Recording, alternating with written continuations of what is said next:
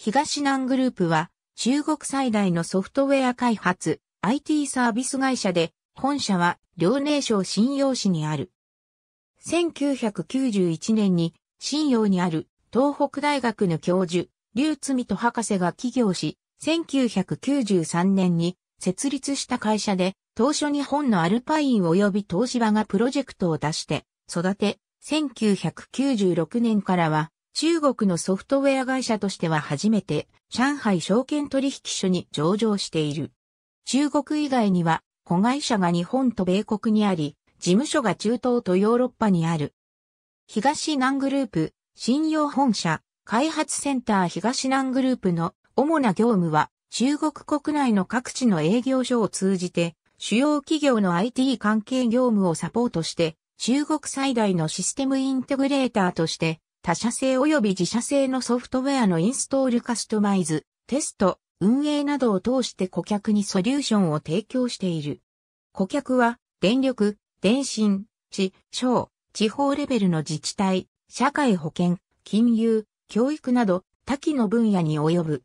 また、海外、特に日本の企業からのソフトウェア開発のアウトソーシングを受けるのも業務の大きな柱の一つになっている。データ入力、コールセンター、あらゆる間接業務も日本語、韓国語、英語、中国語で行っている。信用本社、開発センター、遼寧省信用市の町の中心から青年大街を南へ、今河を渡ったところの今南新区に本社兼開発センターを置いている。大連開発センター東南グループ大連開発センター大連の大連ソフトウェアパーク内に日本向け開発センターを開設している。